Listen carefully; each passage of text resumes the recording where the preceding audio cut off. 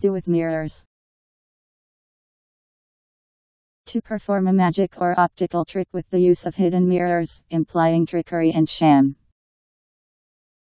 To jokingly pretend that one did something using magic mirrors, that one is a magician, a joking explanation of the fantastic or the unexplained.